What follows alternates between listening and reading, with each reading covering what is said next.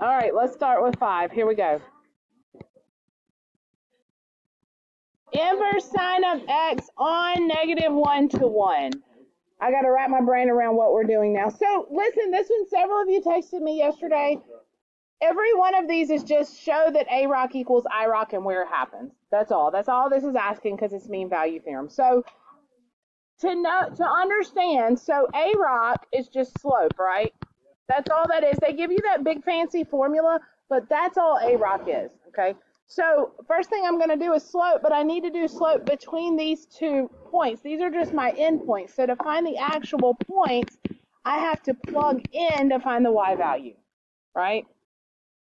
Okay, so where is sine negative 1? Pi over 2. No. 3 pi over 2. No, but that's outside the interval, so you gotta get the opposite. Right. So at 3 pi over 2, right, I got to stay between negative 1 and 1, so I've got to go. You're, you knew that? Good job. No, but that was good to know that you had to go with the negative value there. All right, so I have to go, instead of calling this, this is 3 pi over, over 2, right? But to st- that's still not in the interval. What's half of 3? 1.5, negative 1.5? Yeah, definitely in the. Uh-uh.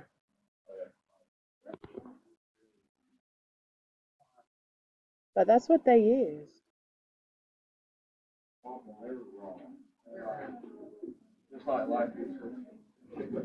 Wait, wait, wait,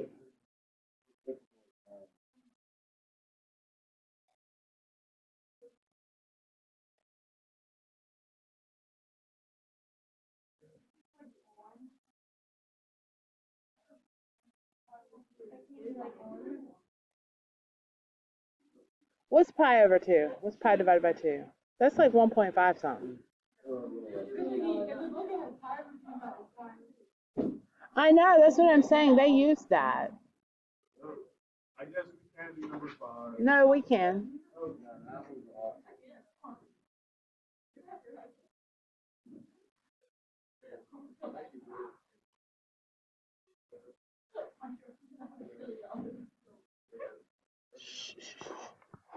Let me wrap my brain around what's going on here.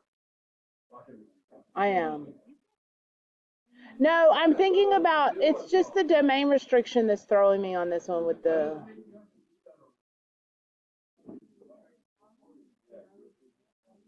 But if you go straight to the formula,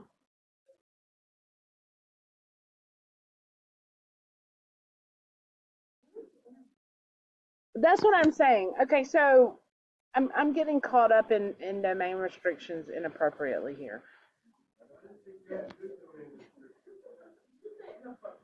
Yeah, like I'm not thinking about it the right way. I know what it is. I know what it is. I can show you better than I can tell you. I know what it is now. Mm-mm. I know what it is. And and I could sit here and, and, and tell you this, but you're gonna go, I don't know any of that. Remember how I told you that inverse I don't have my calculators. Um Dinsmore's got all my calculators. I can't show you on here.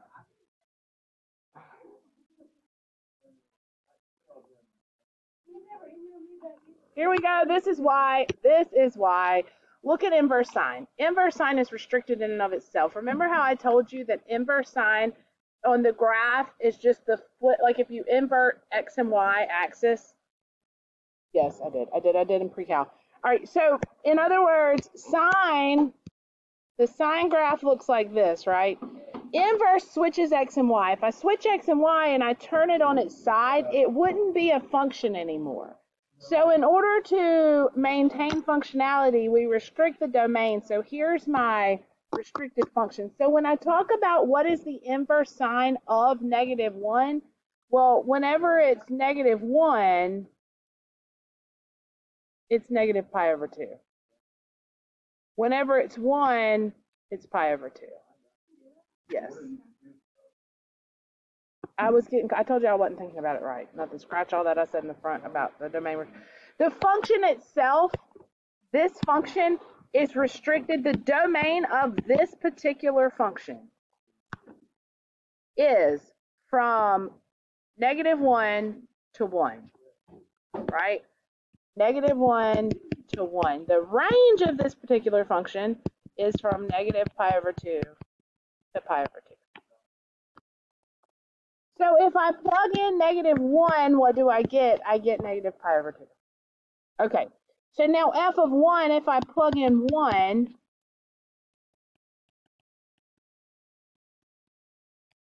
Gotta get my brain back right. I get positive. Okay, so the whole point of this, A rock equals I rock. That's what I'm showing. A rock is slope, yes? So A rock is, subtract the y's, divide by, subtract the x's. That's 2 pi over 2, which is just pi over 2. That is the average rate of change, yes? I need to show that that equals IROC. How do I find IROC?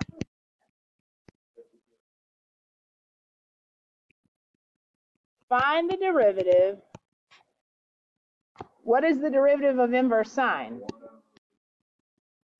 1 over.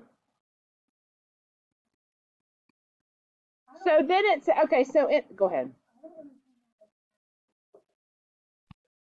Do you understand where this, all that came from?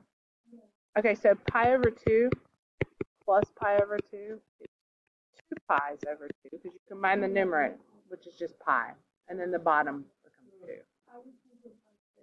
It's kind of confusing because it goes back to what you started with. It's a little weird. All right, so are you, what? Were you about to say something?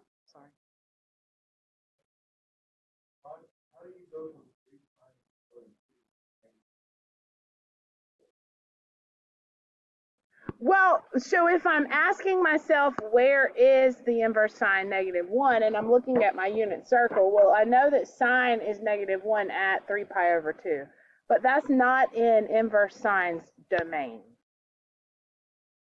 I have to stay between negative pi over 2 and pi over 2. So that means I have to be on this right side of the circle. So on just the right side of the circle, but going from negative pi over 2 to pi over 2. Like don't call this 3 pi over 2, call it negative pi over 2. So this um, 7 pi over 4 would be negative pi over 4 instead of 7 pi over 4, should I need it. Yes. All right. So, a lot of you, I think, are confused by the C, maybe. Don't put C then, just leave the X in there. Where does I rock equal A rock? Okay, so yeah, just, I mean, why change it, right? So, let's just leave it as it is and just say, where does I rock, does I rock equal A rock? Where does that happen? The variable itself doesn't matter. If you put a C in there, fine. If you didn't put a C in there, fine. Leave it as X and tell me where you're, it's the same thing. If you want to, but you know what else you could do? It's the same. So pi times the square root of 1 minus x squared equals 2. And it ends up the same thing. Square both sides. 4 over pi squared. Subtract 1. Flip everybody's sign and take a square root. I'm going to make this 1 minus 4 over pi squared. Don't make this 1 minus 2 over pi. Because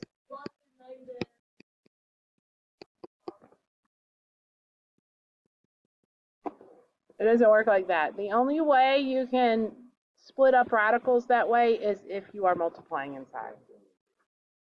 No, it's killing a puppy. It's a little worse.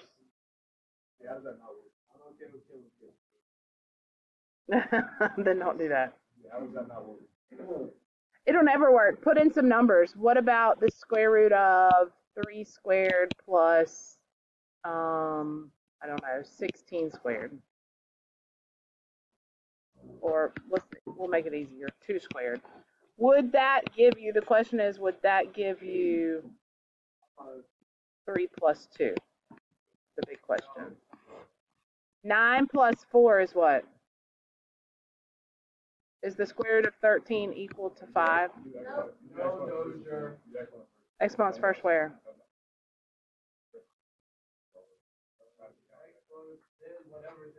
Calculus. I was just showing, they said, why doesn't it work? I said, well, put in a, a simple number, put in a simple example to see if it works. Radical calculus.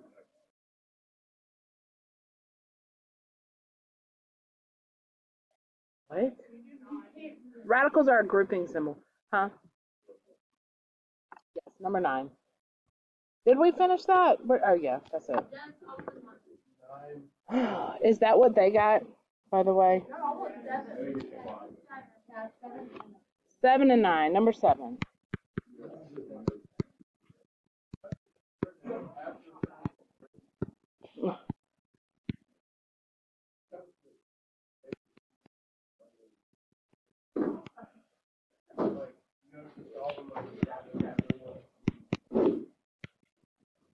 So for this one, let me read it. I haven't, I'm just copying it. Um, all right, so we're still stating whether or not it satisfies the mean value, first of all.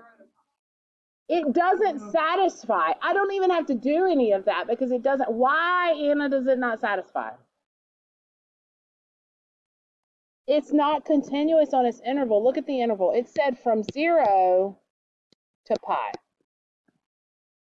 Where is the possible break? Where's the possible discontinuity? Pi over 2, right? That's where they're. So the question is at pi over 2, do they have the same value? That's going to check that's going to check continuity. Yeah, you have to do it. Is it continuous on its interval? Where the only place that it might not be continuous that I need to check is at pi over 2 because that's the break here. So does the cosine of pi over 2 equal the sine of pi over 2? That's a big question. So look on your unit circle at pi over 2, right up top. No. So I stop and I say, does not satisfy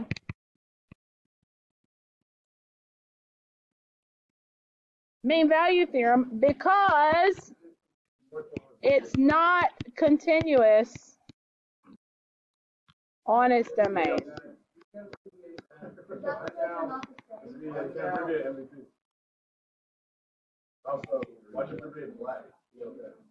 That's because.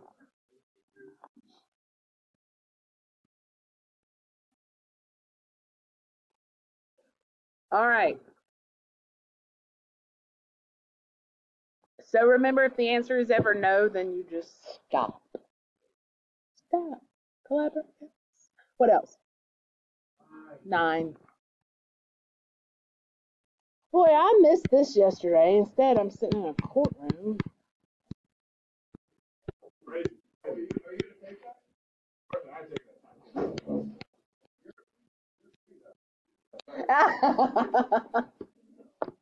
The look on her face when the judge that walked out was the same judge that y'all did junior leadership with, though, was funny.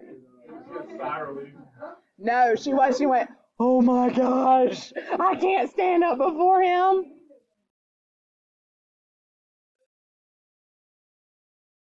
He was scary to the other people. He told.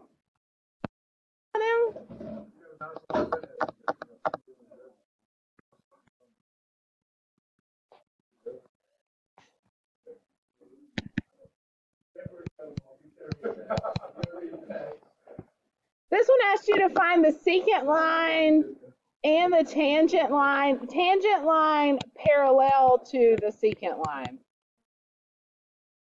So the directions for this says um, given two points, and then they give you this interval on AB. Use and they give it, they make it a lot more complicated than what it actually is. But they want the secant line, and then they want the tangent line that's parallel to AB or to the secant line. So first of all, let's talk about secant line. What do you need to write the equation of a line? Slow. Slope and point. Always slope and point. How do I find the slope of the secant line? Inverse derivative. Normal line. Uh, Why is it supposed to?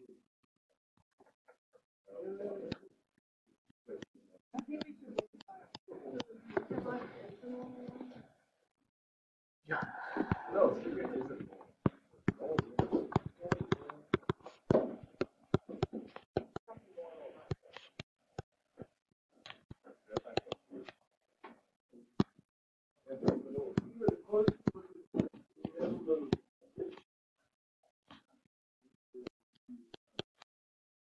What else did y'all say? Secant, tangent. Oh,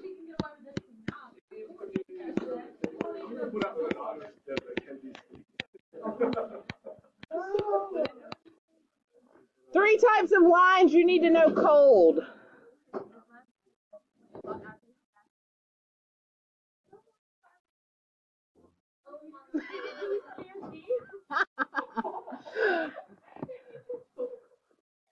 Well, Parker has, has decided he will never speed because one, he doesn't want to have to write a paper, but two, after we told the stories of the court case yesterday, he said he didn't want to go to court.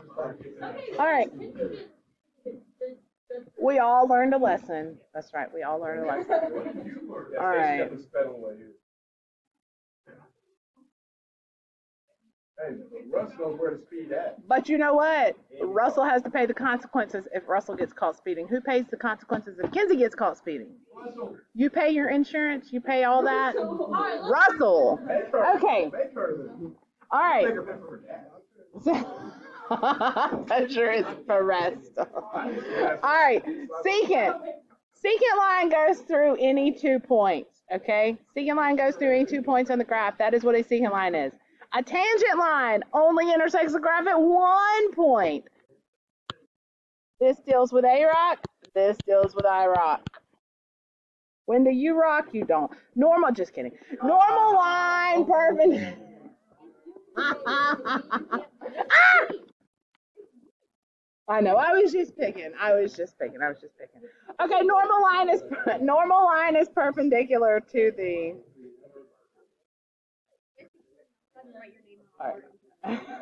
Because I have bullied you today. the bully police. Wee wee. All right, let's reel it back in. Um, is that me? It sounded like me. Okay, so here we go. It wants to know, now I got write an equation of the line for both. So for the secant line, I need, how am I going to find the point? You need the slope, that's right. So I'm going to do f of 0.5 and I'm going to do f of 2, right? So 1 half plus 2, does that confuse anybody if I go ahead and flip it? Yeah. This equation. I plugged in 1 half first and then I'm going to plug in 2. This is my, they just wrote it a different way, but that's my interval. Um, 1 half plus 2 is 2 and a half, which is 5 over 2. f of 2 is 2 plus, oh, is it the same? Ooh, that's interesting. What does that mean?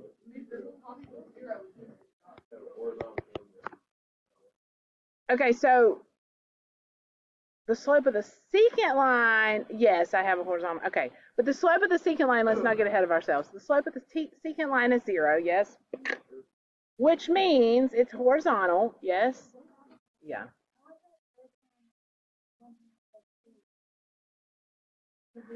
So it's x plus 1 over x, so it's x plus the flip of x. Right, so I could write this as 1 half. So if I did 1 half plus 1 over 1 half, that's the same thing as 1 half plus, and I could flip this.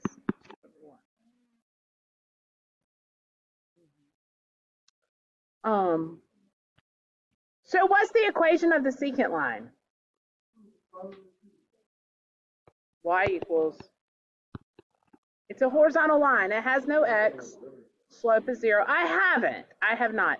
It, wa- it asked two things. It asked me for the equation of the secant line through those points. Done. Then it asked me for the equation of the derivative line of the tangent line that is perpendicular to the secant line. So that means my slope of my tan line, which is the derivative, has to equal what? A zero. So let's take the derivative. Derivative is, what's the derivative of x? What's the derivative of 1 over x? Or that, either one works, right? I want to know where does this equal 0? Yes? Uh-oh.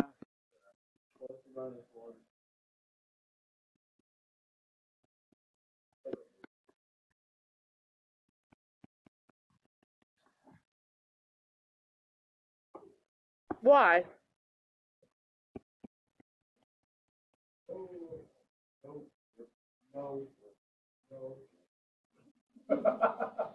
Why?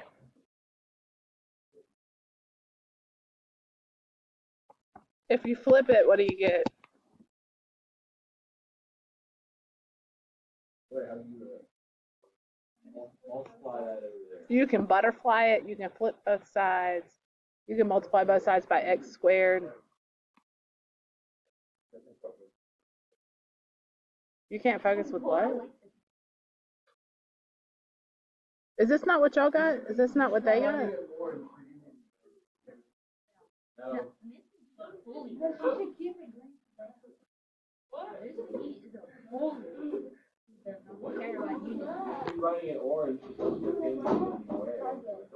No. You're writing it orange. it's just depending on where. All right.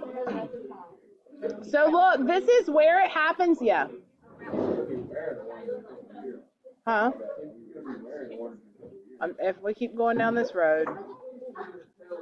All right, look, you really have to wrap your brain around what they're asking you here because I still haven't answered the question. I've got this crazy graph, whatever this graph may be. I know where my tangent is has a slope of zero, where it does has this zero slope, but I don't have the equations of those lines. And since they're horizontal lines, they're of the form y equals something. So how am I going to get the y that corresponds to the x?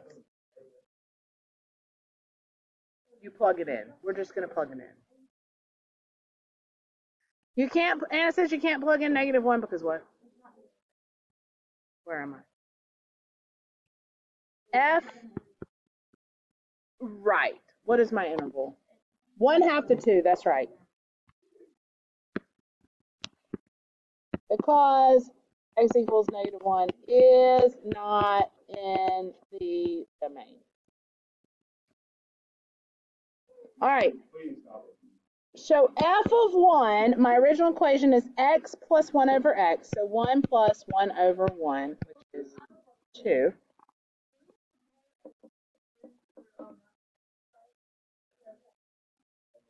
All right, so the point of tangency is 1, 2. The slope is what? What's the slope? 0. What's the equation of the line through the point 1, 0 with slope of, or through the point 1, 2 with slope of 0?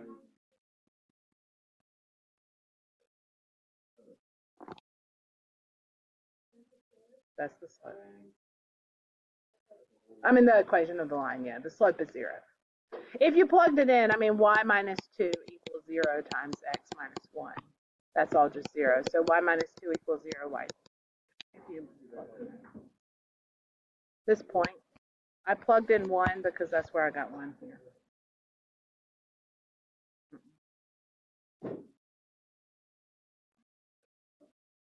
Are we almost done?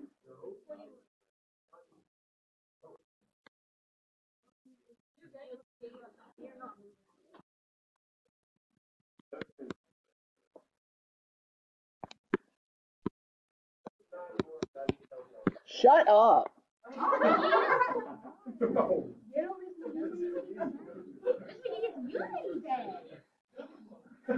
Be quiet, please.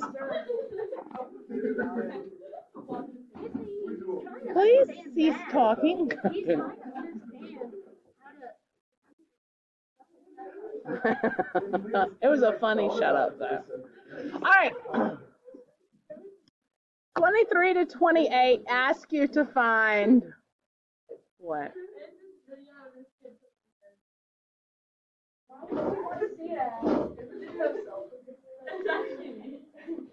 Find local extrema intervals on which I'm increasing and intervals on which I'm de- decreasing. This goes back to what we did in the beginning.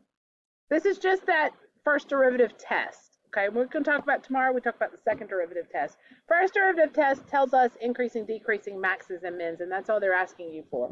So if there is a domain restriction, then I must check the endpoints as well.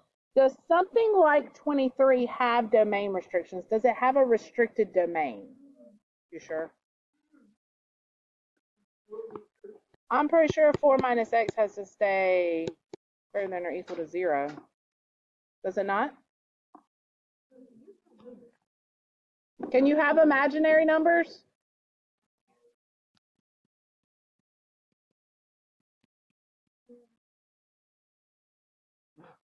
My domain on this is negative infinity to 4.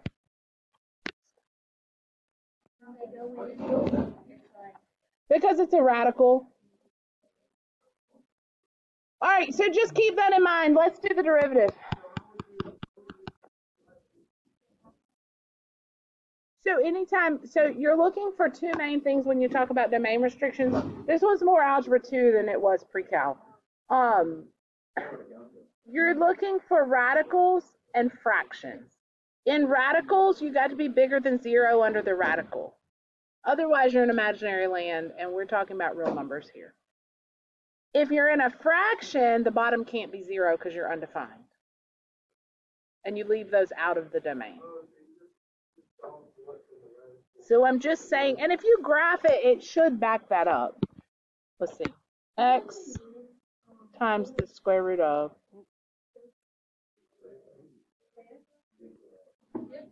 x times the square root of, what was the rest of it?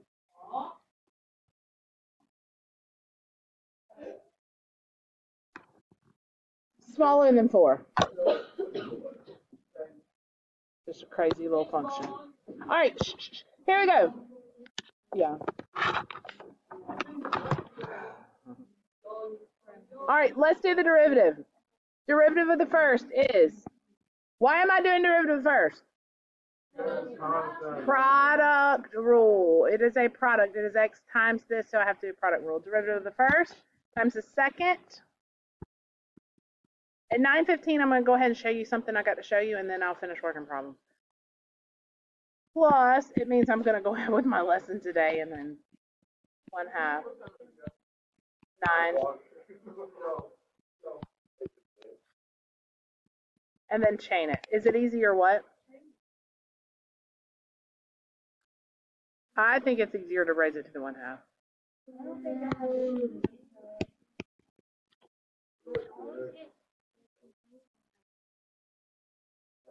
You don't have to if it confuses you.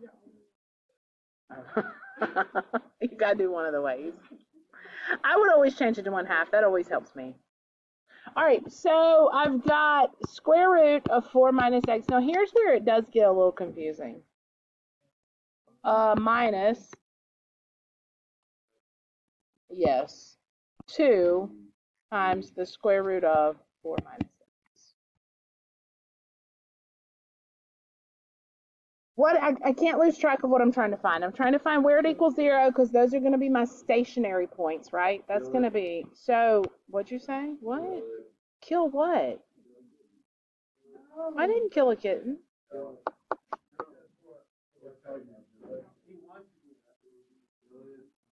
if I am solving this one, what I'm probably going to do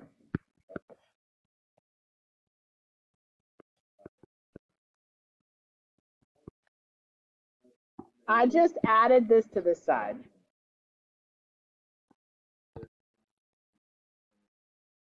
I'm probably going to cross multiply just because I see these being the same and I know that they will cancel. So x equals 2 times the radicals cancel. I've got an equation I can work with now. That looks a lot better than what I had to start with, yes?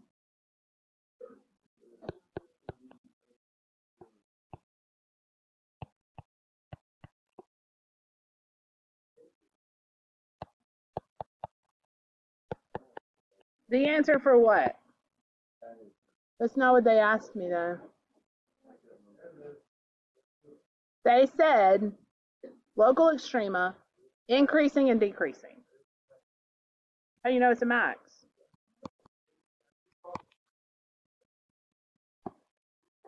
This is a calculator problem.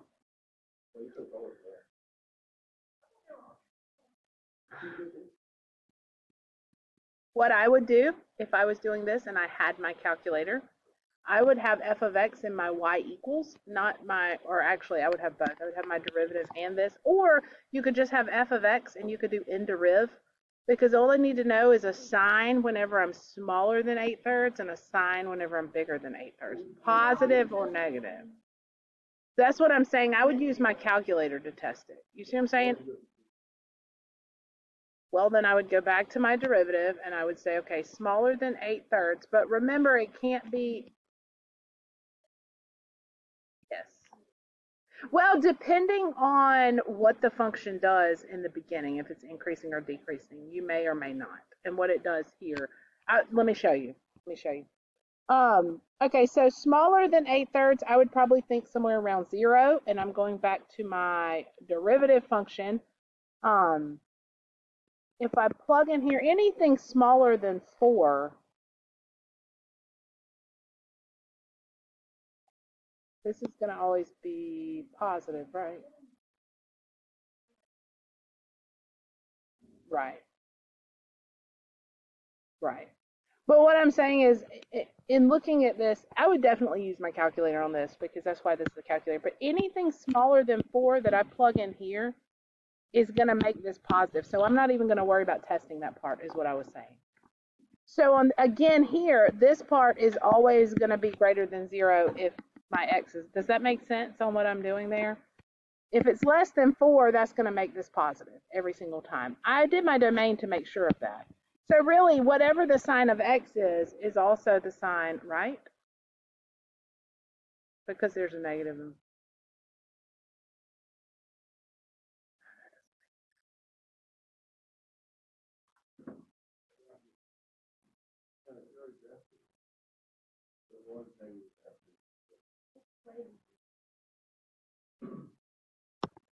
This is the function.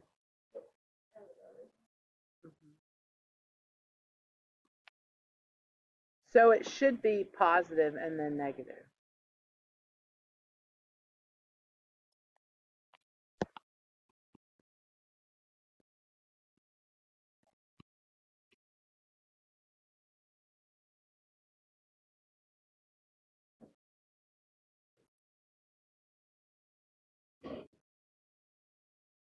I need to come, I can't use this rationale with the roots, the signs of the roots and everything.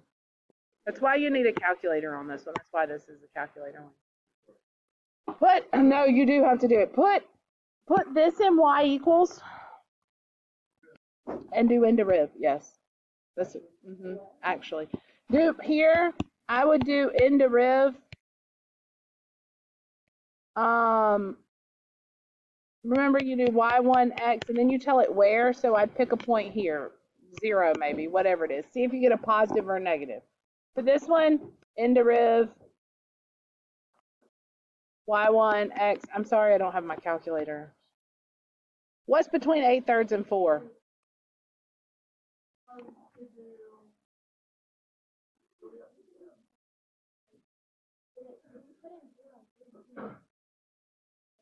Uh, in the original? Okay.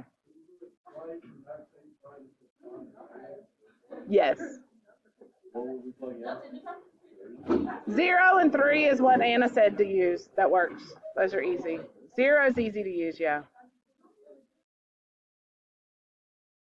Three is it, yeah. Right. All right. I still haven't answered the question because the question was where are the extrema? Um,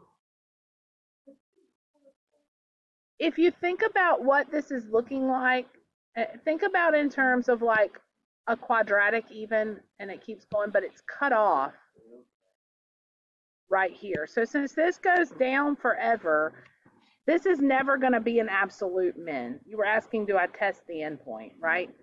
No, because it is a relative min because it's the endpoint, but it's not an absolute. And so I'm not even to, I would not include that. Did they include it? Oh my gosh. All right. So what I'm going to do, look, f of 8 thirds. Again, if I already have this in my y1, I'm just going into my table and typing 8 thirds to find out what it is. I think it comes out to be approximately what? I don't know. They have it as a. To save time, I have lost about two thirds of you, and then I'm missing a third of you. I guess I will go ahead and test four and see what, what I get. I think they did. Yeah, they did. What's f of four if you plug in four? Should get zero.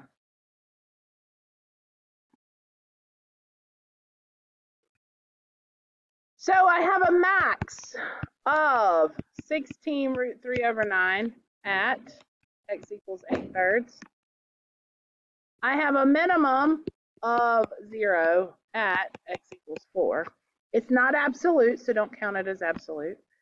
I am increasing from negative infinity to 8 thirds.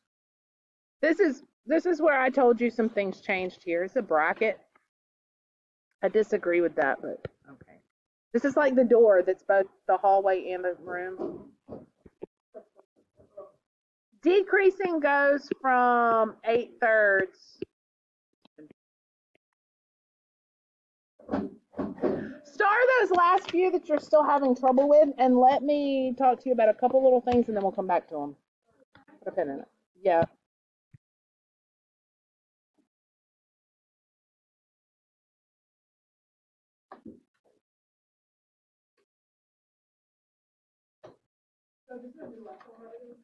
It's just the last little piece of this one that we didn't get to before.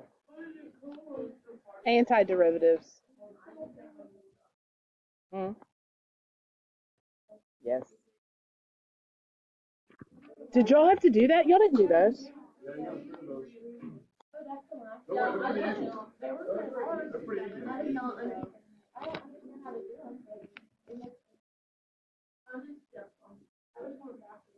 Nobody even said anything. Yeah, because we assumed we had to do it. Y'all are quick to complain. Bless you. Yeah, if we, if we, if we complain, then you're like, oh, yeah, I didn't complain. But you still do it, so what difference does it make? That's exactly how I sound. Snoopy. Charlie Brown. Did you finish that, That's Adam? literally what would happen. We don't know how to do this, but we also do this. I don't. You didn't do anything kind. I didn't a. You didn't do anything kind either.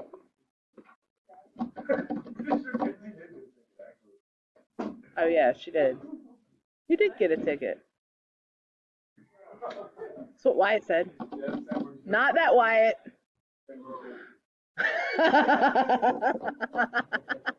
you automatically assumed it was this Wyatt and it's that Wyatt. Okay. Y'all ready? What? Forward?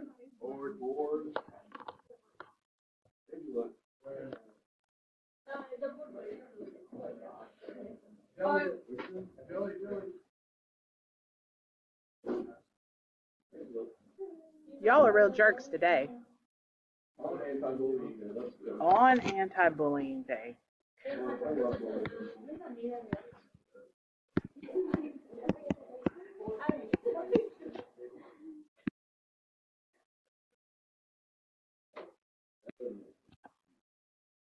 If I asked you to find the derivative of this, what would you tell me?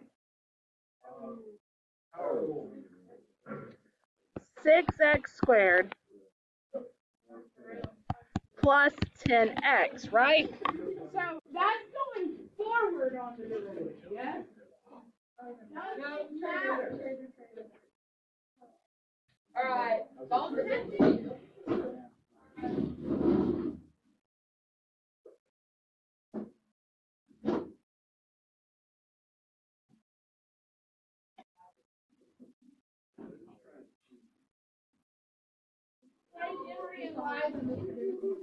Yeah, with your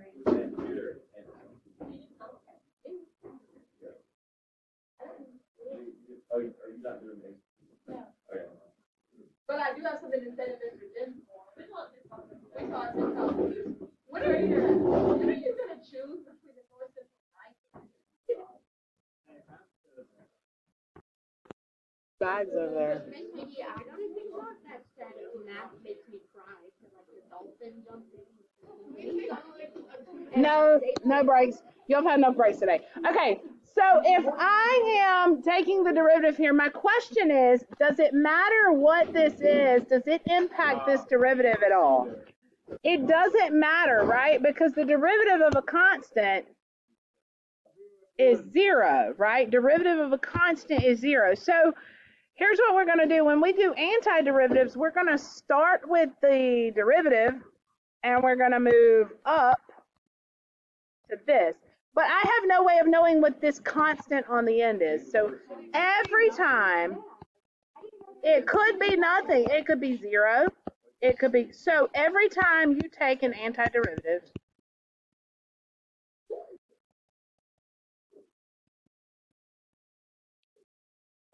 you first I add one to the exponent because before I subtracted, right? And then I divide. No, that's right. Trust this, this is right.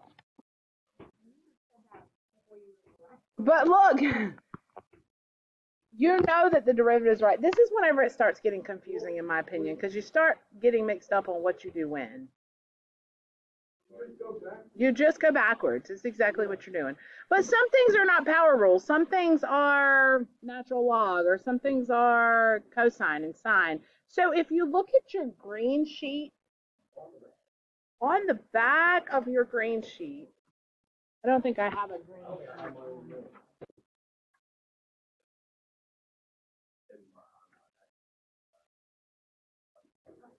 We're going to talk about integrals, but for right now, those first three,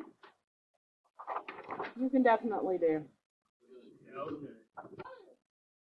That is, integral is just a symbol for antiderivative, and we're going to talk about what it means and all of that good stuff really, really, really soon. But for right now, yeah. Y'all did odds. Now, let me show you this. Derivative of f of x, we say is f prime of x. Second derivative, second prime. But if I go backwards, so in other words, I start with f of x, I can say that the antiderivative is capital F of x. This seems really silly, but there was a question not too long ago on multiple choice where they said which one is the correct antiderivative and of f of x, and they literally said f of x equals, and they put the correct antiderivative, but they used the same notation that was wrong. You had to pick the one that was capital F of x instead of it's so crazy. So what thing? We will. All right. So don't forget plus c, working backwards, and then the notation for antiderivative. Let me do one with you. I'll do the three odds that you did from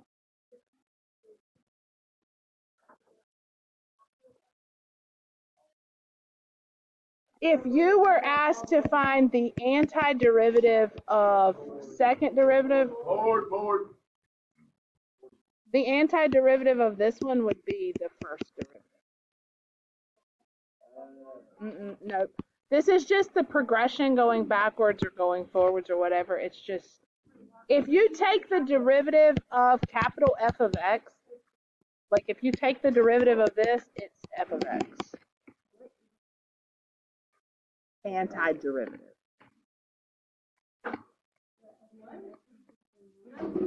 Huh?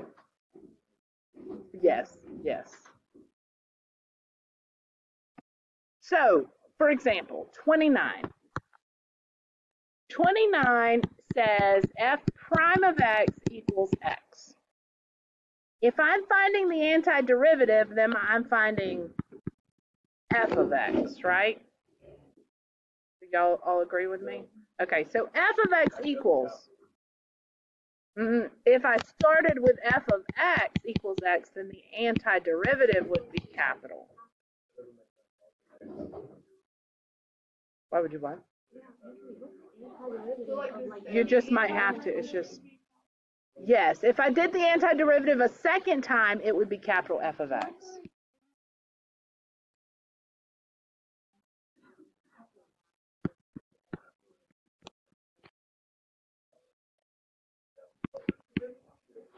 Yes. This is this would be if this is if this is lowercase f of x. Yes. But this is the derivative, not the antiderivative. Yep, yep, yep, yep.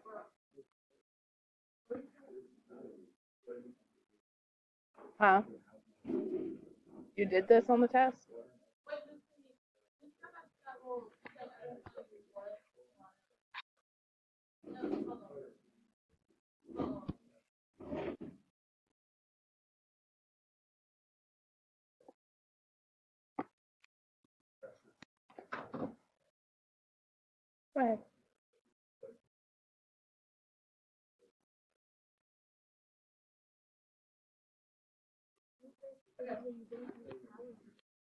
Oh, I'll show you a couple. Don't forget the plus C. So the capital is only if you start with f of x. It's kind of like position, velocity, acceleration. If I start with if yes, if I start with velocity and I take the derivative of that, then that gives me acceleration, right? But if I go backwards, it just depends on where you start. It's just another way to call it. So the progression is capital F of x, f of x, f prime of x, f double prime of x. It doesn't matter where you start. If you do an antiderivative, you end up one level above.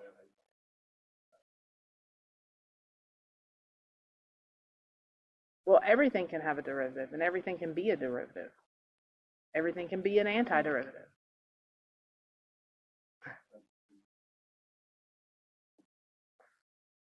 Only one right answer? Yes. Because you got the plus C. The C could be anything. Now, what's if I started out with this?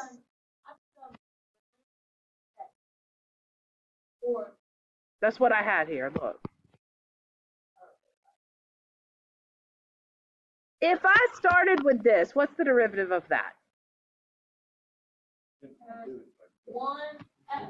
1x There's no- plus- nothing. So this function has an infinite amount of antiderivatives. Because that C could be any constant in the whole world.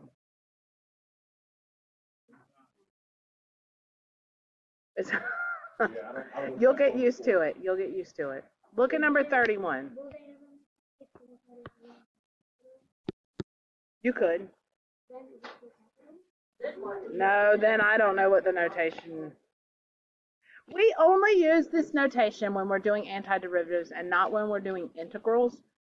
which is not, you might do, it's a very small percent where you use the notation. Most of the time I'm saying, what's the integral of x? Yes, and we'll get to that pretty soon, but you don't have to know the notation of. No, it's not as bad as it looks. Yeah. All right, 31. Find f of x.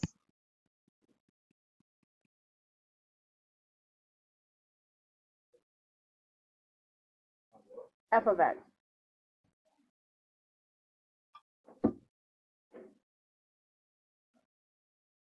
You don't get this?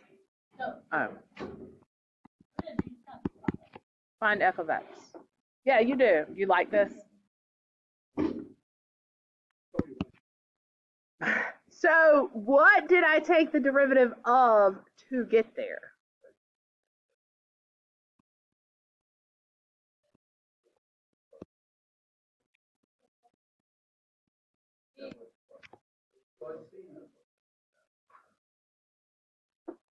We just do it and then we follow with a plus c every time.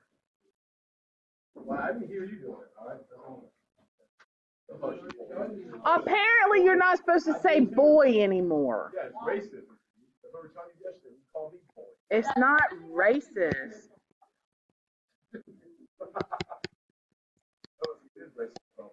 Find the derivative, the antiderivative. Find f of x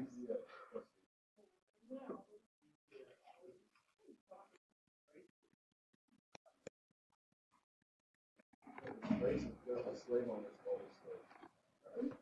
Yes. What does that mean? D O I? What does she say? A B O I.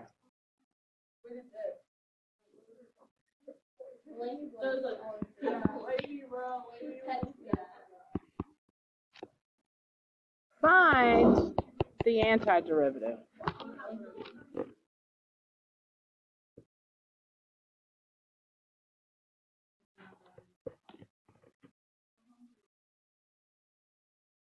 It's not one.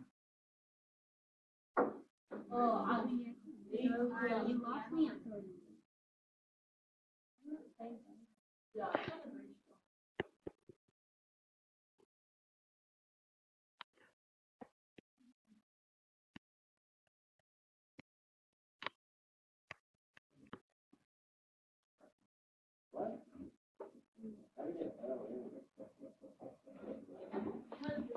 If it's one over anything, it's natural log. Now, I could make you find the specific antiderivative. I could say, what if I said find the antiderivative who goes through the point, I don't know, One. one, one, zero. This means I plug this in and find C. This, whenever I tell you what point it goes through, then you've only got one specific antiderivative because I'm telling you to solve it for C. So 0 equals the log. 1 plus 6 is 7. So what is C? Negative log 7? Because I've got to solve it for C. So the antiderivative is log x plus 6 minus log 6. So two takeaways. Antiderivative with the plus c. Number two is using that point to plug in to find the value of c. No, I said number two. I was holding both fingers. A lot. Alright, that's a little much.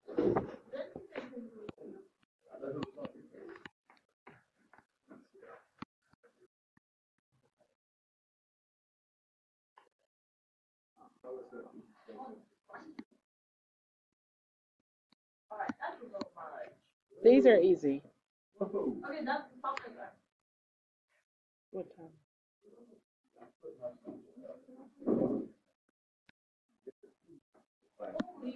These are multiple choice.